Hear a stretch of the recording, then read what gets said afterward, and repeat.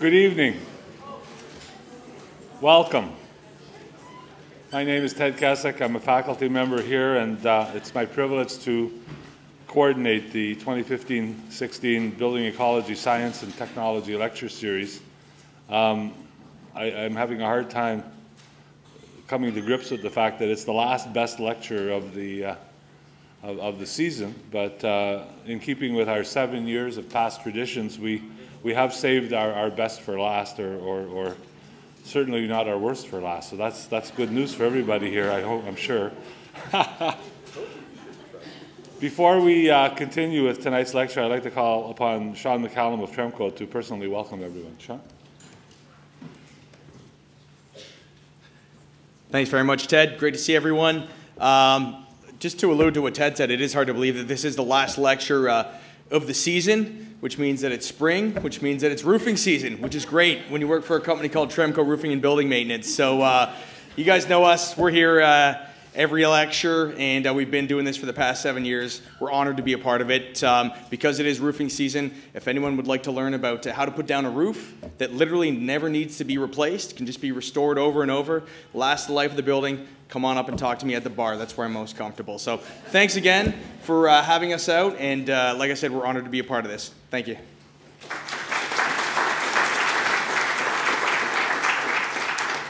Thanks, Sean. I know all about the roofing, but I'll still join you at the bar. I'll try not to hog you. I'll, I'll leave you for the others. Well, anyway, um, I have to always say this because it's important. Some of you, it may be your first time here, and if you want to obtain continuing education credits, then we ask you fill out one of the coupons. And we promise that before the school year is out, you will get your certificates. Unfortunately, this is the crunch. Like, for all of you that went through architecture school or design school, you all know that there's this magic day on the calendar. It's called St. Patrick's Day. And then from St. Patrick's Day onward, you can't expect students to do anything other than their schoolwork. That's just the way it goes. And, that, and then finally, we get our students back and we can get certificates processed. So they will get to you, but you just have to be patient. And think of how hard all those students are working, and that'll be some relief. Um, now I'd like to introduce uh, our speaker for this evening's lecture. Uh, Victoria Taylor is a, a, graduate of the University of Toronto's uh, Landscape Architecture program and, and uh, an example of, of what I like to call landscape activism and advocacy, which is good because we need that in a city like Toronto. Uh, landscape architecture is always being engaged, I guess, in its broadest sense here at U of T, but also in particular within the context of the urban landscape. Uh, notions of landscape architecture are now moving towards landscape as infrastructure to reconnect us uh, with the roots of our natural landscapes. Uh, Victoria Taylor represents a new generation of landscape architects who are beginning to connect the dots between landscape, ecology, infrastructure, and culture to reveal relationships that will guide more sustainable development of our cities in the 21st century, making them healthier, livable, and more beautiful than ever with just a little more faith on our parts and a willingness to move over and let the next generation fashion their world, we could learn to make our urban landscapes work better so that we may enjoy them more. Tonight we will see some of the ways forward. Please join me in welcoming Victoria Taylor as our speaker for tonight's best lecture.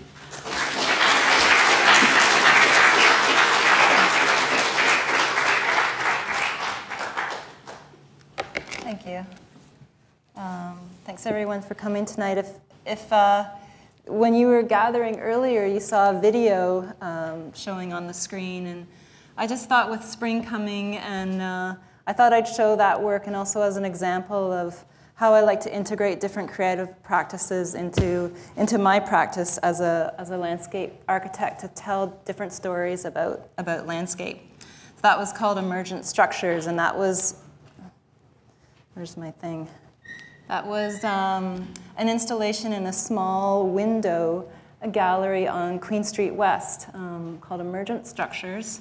And uh, it, it, showed just before spring, so I wanted to do something photographic. And so I, um, and it's just by Trinity Bellwoods Park, just down the street. And so I went to the park and I photographed um, just as the buds were emerging in all the trees in Trinity Bellwoods Park over six weeks just before through spring. And, uh, and then along with my partner, Linda Dervishay, um, we put, this, put that together into a video to kind of a juxtaposition between the, you know, the cupcake eaters and boutique shoppers on Queen Street West and then this beautiful park public space that was just down the street nearby.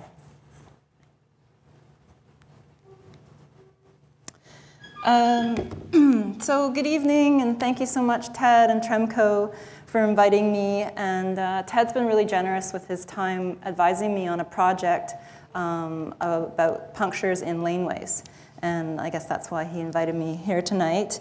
Um, so first of all, I wanted to start with some early inspirations for my work and uh, talk a little bit about um, ideas that inform my practice as a landscape architect and as a public art curator here in Toronto. Uh, so I'm going to use my notes a bit. Um, so my work is about provoking and stimulating encouraging new ideas in landscape, and uh, blurring disciplinary boundaries, um, trying to bring new meaning to the profession of landscape architecture and to affect ecological and cultural change. So my path um, draws on lots of influences, being in wild spaces, love um, gardens and plants and growing food and art and travel and talking about um, how to make uh, our outdoor spaces um, better places to be. So uh, I started off at McGill in science, and then um, that lasted for like a semester. And then uh, I moved into the commerce department actually at McGill and in marketing. And we learned about selling uh, products. But my interests um, evolved into the selling of ideas and being more concerned about the world around us and ecological degradation. And, uh, you know, the three R's were just coming out. And uh, so um, I finished in marketing at McGill and joined Greenpeace. And I was uh, protesting and writing their um, consumer product um, brochures that would help to change consumer habits around purchasing and uh, walking more lightly on the planet. I think that was the slogan back then. And uh, so while I was working at Greenpeace, I wanted to take my academic studies a little bit further. And so I entered York's uh, Master of Environmental Studies program. And there I met Michael Hough. And uh, at the time, I had no clue about what a career was in landscape architecture, but I really loved um, getting out of the classroom. And he took us into the Don River system, and we studied the river and the site that's now um, basically the Evergreen Brickworks. And his vision in this book, and which has now actually happened a lot today in that ravine system. Uh, so it was really wonderful to, to have that experience with, with him. Um, and around this time, I uh, was really obsessive about gardening. I just started getting into plants, having my own garden, which this is not my own garden, um, and uh, just like reading all the nursery tags, uh, going, spending time at Humber nurseries, and um, um just really being obsessive about moving plants around. And I uh, joined my sister and my mother on a trip to England, and we visited. This is Great Dixter, one of the famous gardens uh, outside of London, and Sissinghurst, and went to the Chelsea Garden Show. And I just loved being around people that um, talked about plants uh, in their botanical, like they threw around botanical names, like they just um, was part of their language. And it was also part of their culture, like horticulture and garden design was just part of the culture of, of England. And I really love that, but I wanted to um, see how those, the ideas about beauty and gardens could connect with my um, interests in uh, cities and, and, and, spaces in cities. And uh, so I, um,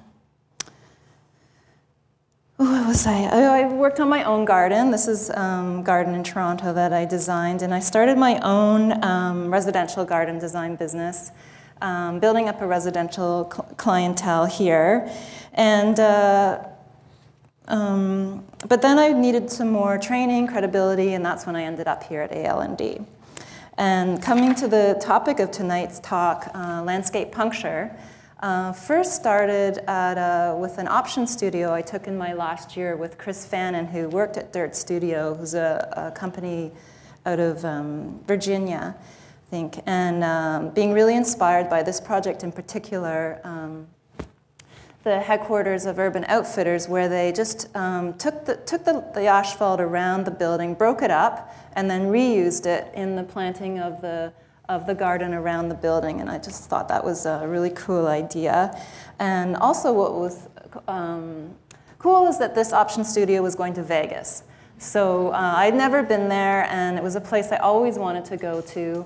And uh, this was this is the landscape of Vegas um, that drew everybody there. Chris with Dirt Studio was um, doing a lot of work around the shifting of land use along the strip, um, the changing from it being a very migratory uh, tourist destination to it being um, more of a condo development, and a lot of the ho hotels were being imploded. And uh, he chose for us, oh, there's what the real landscape looks like around Vegas. Uh, so I was inspired by the juxtaposition between this and this. And then this um, was our studio site. Uh, it's a 40 acre parking lot just behind the Vegas Strip. And I don't know, I don't really have a laser, but the strip is just right off to the, to the right. So it's incredible that this very active linear zone of you know, kids giving out porn tickets and people drinking cocktails in architectural landmarks um, in the shape of glasses like the Eiffel Tower. and it was really all happening. And then here's this pretty much vacant parking lot the whole time we were there.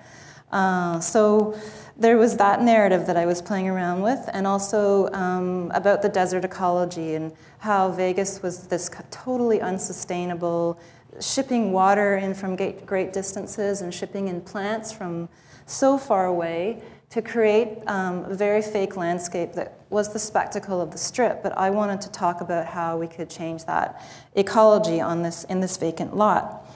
So um, Chris, the studio director, he was um, he he asked that we bring in a, a, contemporary artist and a product from the waste stream to inspire our our project. Uh, the artist I chose was Olafur Eliasson, probably most of you know here, and his his ideas, his way of seeing the world, really inspired me. And then the product I chose um, was PVC pipe.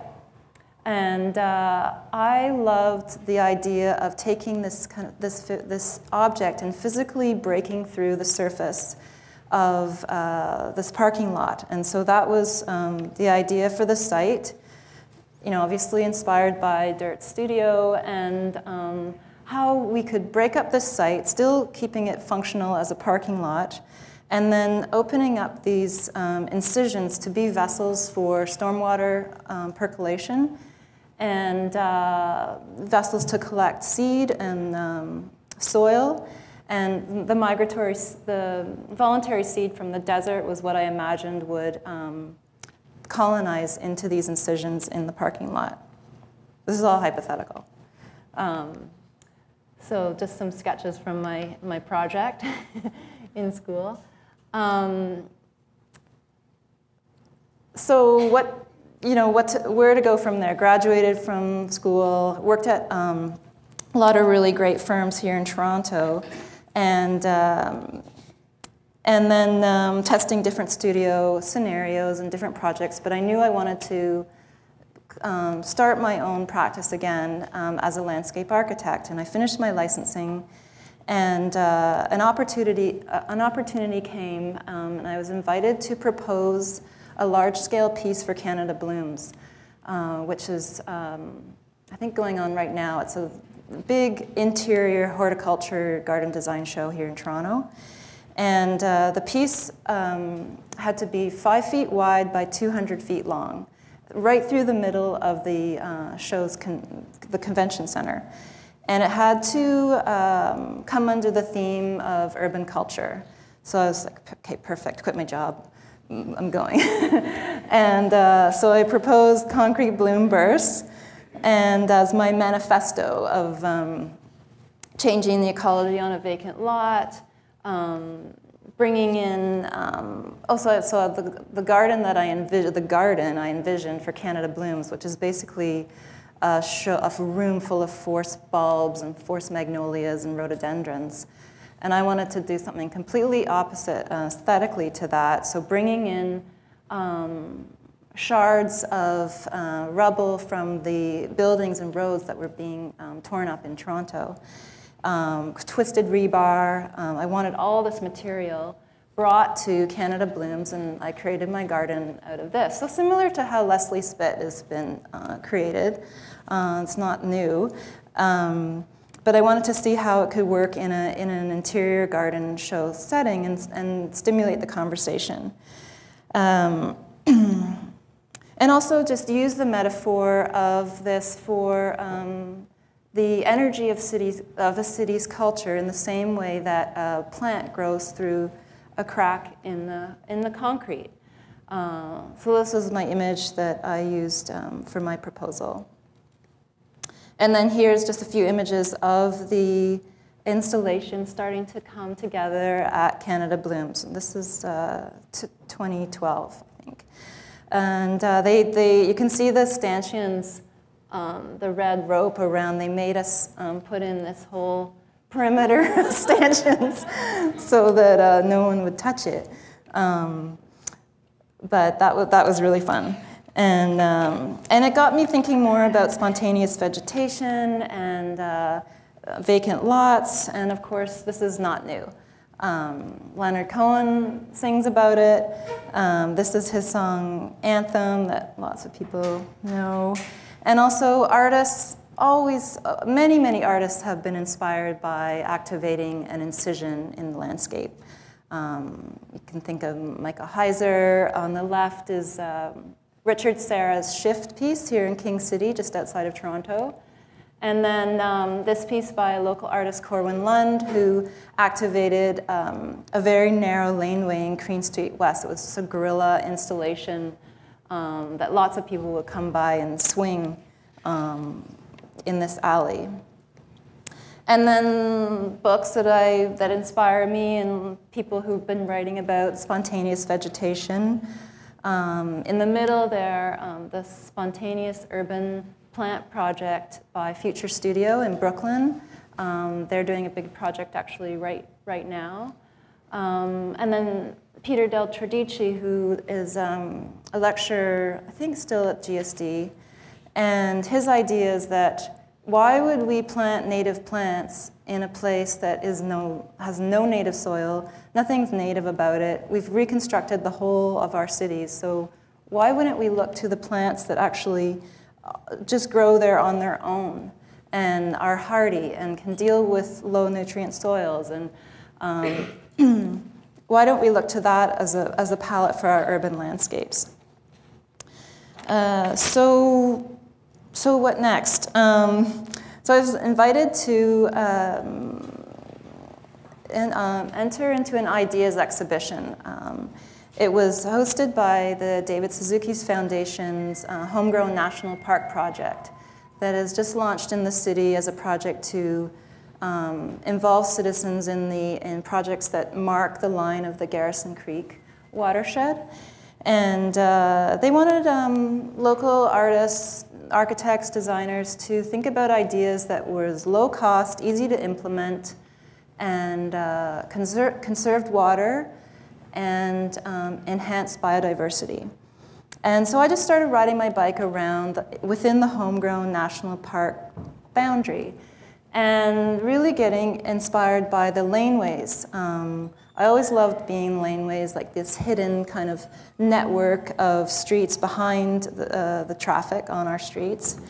And uh, also seeing how they're built. So as opposed to roads that are graded um, to drain towards the edges, laneways are graded um, to drain to the center because there's garages and activity on the side. So the catch basins are in the center, and this is kind of a typical Toronto uh, laneway.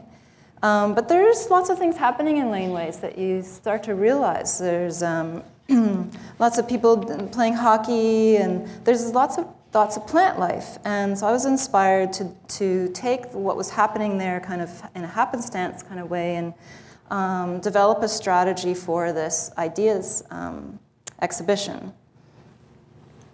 Um, just looking at laneways and seeing the, the amazing diversity of plants that grow in the cracks uh, in concrete. And here's, here's my poster um, that was part of the exhibition, Public Laneway Puncture. And uh, so just some early ideas about what this, um, I proposed a 100 millimeter incision down the center, um, the central drainage channel of laneways. And that was my idea. It could, you know, bring people together to maintain the plants in this crack. Um, it could um, filter stormwater as it flowed into the crack. Um, it wasn't about uh, affecting the existing underground infrastructure, um, but it was just about another way to allow rain to percolate into groundwater. Um, there's just a close-up. And bring people into the space, opportunity for greening. And it caught the eye of um, a few people. Well, the host, which was um, Jode Roberts from David Suzuki's Homegrown, project, and Michelle Senayah, who's here from the Laneway project here in Toronto. they're doing an amazing job to activate communities around the possibilities for um, the 250 kilometer network of laneways that exist here. And uh, I'll just go back to that. And, um, and also Councillor Mike Layton. So he um, really, uh, over a few years, we met with him and he galvanized lots of different departments that would help us actually make, turn this project into a reality. And uh, so I was thrilled. And uh, we met with transportation, public realm, um, and we went through the list of laneways that are slated for resurfacing. So we chose laneways that were going to be resurfaced soon. And then we um, connected to those communities to make sure that they would be interested in taking on a demonstration project. And we, um, we um, have now have two laneways that have agreed to that, and so we started on drawings. And in the, in the meantime, I thought I should do this myself and see how it works. And so this is my own driveway, and, uh, and I didn't plant anything. So, you know, before and after, it really, uh, things do happen. And so now the, the drawings have been accepted by the city, and uh, we're really happy about that. And um, they're going through public tender now, and hopefully these two laneway constructions will happen this summer. Um, the project's being funded through an in-kind donation from Beautiful Streets and also the hard work of our whole team and um, a grant from, from Live Green Toronto. So that's really exciting. And these are uh, the drawings and a couple of renderings from, uh, from uh, showing the, the potential of the, what's going to happen in these two laneways. And then, oh, so you can see it's no longer um, a 100 millimeter incision. It's now um, actually 800 millimeters is what the city has uh, recommended to us. And um, so it's not, you know, it's no longer this, this narrow trench. It's um, four times greater, four times more possibility for rainwater percolation. Also, it's probably a better project because cars can drive over it more easily. Um, so we propose this system of prefab unit pavers that have a 50% uh, open area, um, which doesn't really, um, I, we just imagine this kind of plant, beautiful community planting project, but here it really requires uh, seed. So then it ended up being an opportunity because we um, developed our own custom seed mix. And uh, so we studied the plants that grow in the crack and we worked with a company out of Germany, actually, to develop our crack mix. And uh, this is still in discussion. And, uh, and these are the species that um, we're, we're going to test 15 uh, species in this mix and see how, how it goes. Um, we also, of course, imagine that um, a lot of more plants will just flow in through through water and um, voluntary seed dropping. Um, and then if all goes well and we, um, we're going to work with the communities to educate them about how to take care, um, this could actually be um, part of how our laneways are built in the future in Toronto and be part of the Green Street standards, standard guidelines for the city. So that's really, really exciting. So just to end, um, I wanted to just end with a project that uh, takes my work into the realm of public art curator and talking about landscape, um, not through my designs, but encouraging a cross section of creative disciplines to uh, think about landscape, think about the design of our cities, and think about um, how we experience our cities. Um, and so, um, working with the Gladstone Hotel here in Toronto, um, and Christina Zeidler, the, the owner of the hotel, we um, launched Grow Up with a, a, a, jury of writers and artists and landscape architects to develop a, a curatorial vision and then an open call and a show each spring at the hotel with installations in the hotel rooms. It's, it's really great. You should come by this, this April. And here's just a, a selection of some of the projects that we've, we've done over the past three years. Uh, and the audience has, has really grown, and the conversations around what is possible um, through video, uh, performance, installation, you know, the hoarding on the streets, um, plants, chickens on the roof, um, through sound, what do plants sound like? Um, so it's really been an amazing experience. And uh, I passed on the curatorial um, because I wanted to start a, uh, a project, and this is, I'll just end on this. Um, where the artistic work was actually in a landscape. I wanted to test the possibility of taking the ideas of Grow Up um, out of a hotel and um, into an actual landscape. So with my partner, Galera Sarapaju, um, who has done a lot of amazing public um, art projects here in, in Toronto, um, we're launching D-Rail um, in the West Toronto Rail Path, which if you don't know, it's a two and a half kilometer rail path. It's a car-free mobility network that runs alongside the UP Express and the GO train line um, in the west end of the city. And so we're really excited. We're working with the councillor and Parks and Rec and the Friends of the West Toronto Rail Path to launch this uh, this spring during Doors Open uh, Toronto with our first commissioned piece. And uh, so this is a, a snapshot of, of, the website, so you can sign up there for news coming soon. And it's, it's um, also really exciting is because Doors Open Toronto is um, broadening their definition of, of what doors get to be opened. And so here, um, normally they're opening up the doors of buildings, but this here we're opening up the door of a landscape. So that's, that's really exciting. And uh, thank you very much. And I'll ask, answer any questions that you might have.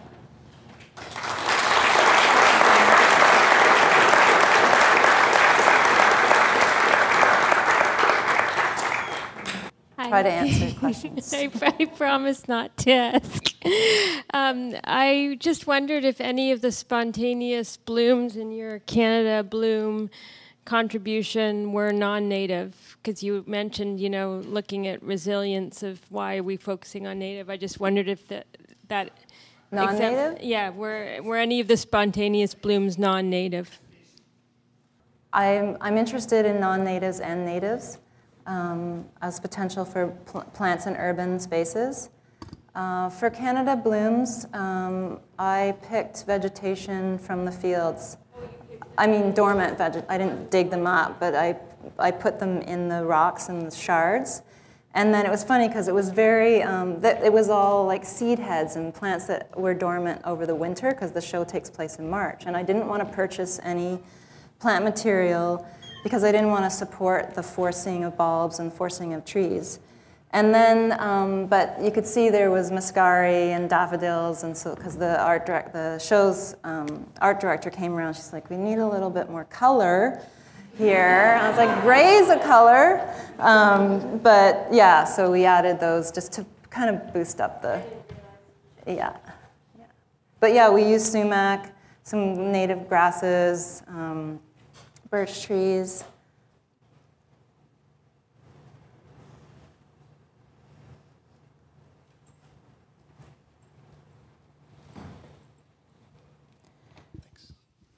Uh, first, I just wanted to say um, I really enjoyed the lecture. I thought it was uh, really inspirational, and I just wondered if um, you thought that the um, the gridded system or even the trench system could possibly move out onto the busier street areas, or is there reasons why that can't happen, or even potentially um, through some of the paved park areas, like I'm thinking like Queens Park, could maybe have something cut down the center of the pathways there?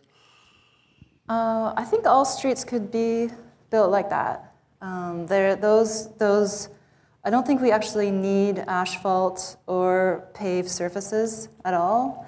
Um, those, those concrete uh, pavers are made to sustain vehicular traffic.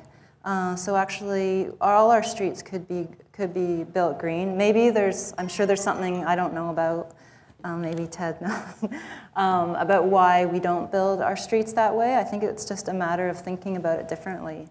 Um, but this, is, this will be a great test to, to, test that. I mean, lots of streets have been built with unit pavers, and uh, but I think to open them up to allow seed to grow too. There's lots of products too, like grass pave, where you they're put kind of underneath uh, the surface of sod.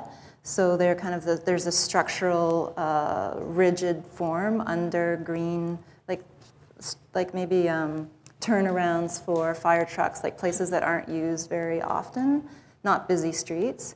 Um, but I don't know. I for sure, yeah, it could be be great.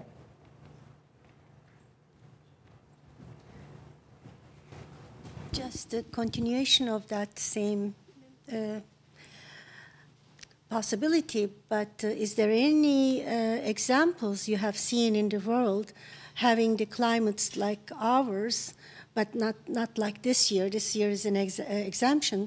And about the traffic safety and so on, what is the, any studies done for the uh, maintaining the road safety and still have plants involved? Actually, in my view, we, we are missing quite a bit uh, uh, possibility of making greener city uh, by allowing private property owners extend their uh, usage of their front yard into the city's areas, kind of public spaces taken away. Mm-hmm. And uh, to everybody's, like just the private owners' knowledge, limitations of their knowledge. Some mm-hmm. of them could be great, some of them could be very poor almost third world country standards. And I thought like that kind of things could be discussed with the officials and could be integrated more like different kind of different level of uh, green city standards.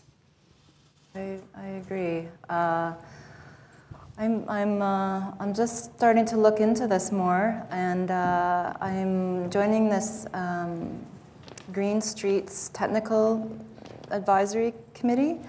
Um, and they're very active. They've been, uh, there's reports and um, lots of studies done about possibilities for how we can build our roads and our school grounds and that kind of thing. I just, um, I'm just starting to get into it, but the possibility for front gardens, um, is definitely there.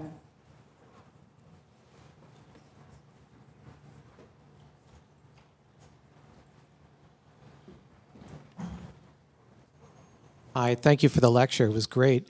Um, one question that popped into my mind was uh, the the the green laneways proposal that you made to the city. It proposed a fairly modest intervention, uh, which has now grown to quite a bit quite a bit larger green space. I wonder if you might be able to share some insight as to uh, what the city's thinking was in moving in that direction. Oh, the, the original proposal for the, the very narrow incision, you mean? Why we changed it to become a bigger one? Um, well, they didn't uh, like the fact that it was just a trench, like an open trench that um, car tires could fall into, people could, you know, it was a safety thing. Um, and also it was about um, the way cars moved through it, um, people tripping in it, I mean, my argument was that it would be packed solid, full of aggregate and, and sand, and that we'd plant in it and it would become as solid a surface as, as anywhere else. It wouldn't be this gully. Um, but uh, anyway, you've got to go with where the doors are opening uh, in that kind of situation. And, uh, and actually, like I said, it's actually better, uh, it's broader area for catchment. Uh, so there's more possibility for rainwater catchment. And, uh, and I love the opportunity for the seed, because imagining that that could be used in all sorts of different landscapes. So all these other things, you know, at first we were resistant. I was like, there's no way. Um, I have to keep it. And, you know, my team members are like, you know, Victoria, it's going to be better. And uh, so you just have to go where the doors are opening, and then the new possibilities happen. Um, so it's hopefully now we have to we have to take a few years to see how it goes to to work with the community to educate them. We're going to be um, doing a video and documenting it very well, so it will be a precedent, um, an educational precedent for other communities, and uh, we'll see what happens. Yeah. I have a, technical question regarding the use they do in this city of salt for melting the snow. What happens when the salt gets into these slots? Is going to kill the, the, the, the, greenery or what? Uh, well, in this kind of situation, we're using plants that are used to salt, used to cars driving over them um, never being cared for. These plants thrive in that kind of environment. Uh, it, it's going to be interesting to see what happens. I think salt obviously is a concern. I don't think we salt laneways. We don't salt laneways. Um, yeah, so um, it's actually an opportunity for the plants to grow really well. Um, but they, these types of plants actually grow in conditions where salt is used. Yeah. And we'll see what, we'll study the plants that thrive and the ones that don't and then adjust the mix. Take one more question. Joe? Or two, maybe. Oh, I know this guy. I'm just wondering if you can kind of explain further the de- derail project. I was just is it like a one-time installation of one piece, or is it the beginning of what's supposed to be a continuous annual like curated event where there's an artist like i'm just if you oh, could sure. tell more about yeah, that Yeah, sure thank you uh, it's a bigger vision it's a bigger vision to animate the um, the rail path which I'll just take a moment to pitch derail. Um, so the West Toronto Rail Path is a really active cycling pedestrian corridor, but there's really not that much going on in terms of a place to sit, a place to experience the landscape, um, a place to pause and, and think about the plants and where you are. But there are little nodes and niches kind of that set, are set um, off of the rail path. So the places where the communities come into the rail path, there's kind of these um, plazas. And so we imagine that with funding, we can um, invite artists to come kind of like a residency to study the landscape, so they have to be site-specific works and, uh, and not obstruct the movement of the path, so the path will, nev will never close down or anything. And then um, temporary, ephemeral pieces, performance, poetry, anything that kind of is, stimu- is um, inspired by and responds to the landscape of the rail path, which is a really unique place in the city because of the plant material that's used it is um, the plant material that grows in a kind of um, rail corridor or roadside environment. Uh, so similar to uh, the plants that I'm interested in, um, never watered, very little maintenance, Um, so how can we enjoy and learn more about these types of landscapes? Derail is about that, that too, but learning about it through, uh, through the minds of artists. There's one more question over there. Um, my question is really specific. Um, uh, when you see a lot of green roofs and stuff, you have a lot of uh, there's a separation between the grade and the the space above where on the top of the building. Um, in your situation, you have um, a grade which is uh, exposed to trees, and I'm just wondering, how do you maintain the growth of trees growing in these these at grade locations? Like, because once you kind of if you mow it, they get even stronger and they'll grow like eight feet a year. So how do you propose that in a really informal situation that you're proposing for these laneway slots, that you control that? Because in my front lawn, I get like a thousand uh, silver maple trees growing every year. So how do I? How you do have you stop to do that your from happening? gardening, sir. You have to do your weeding. Um, you have to pull them out. Um, and that's part of the education of learning what is a tree seedling, um, how does it differ from the plants in the seed mix that we want to use. So it's, it's an education about horticulture and um, making sure that they do not take root, because like you said, they will disrupt the, um, the constructed surface of the pavers. Um, same, it happens in green roofs, it happens in the rail path, um, tree of heaven, you know, everything. Um, but yeah, it's about learning what stays in and what you have to pull out. Uh, It's easy. I can show you. Well, thanks so much. Um,